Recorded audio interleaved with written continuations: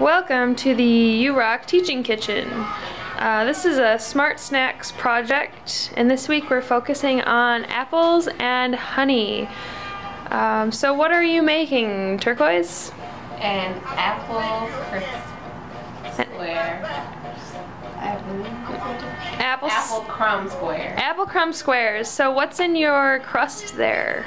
We have oats, brown sugar, flour, um, did we use cinnamon, Some lemon zest, right? yep, lemon zest, um, nutmeg, and salt and baking soda. Nice. So I noticed that you were making a sauce earlier. Tell me about that delicious looking sauce. Um, with our sauce, it consists, it is an apple cider sauce and it consists of apple cider, um, apple cider, cornstarch, and water.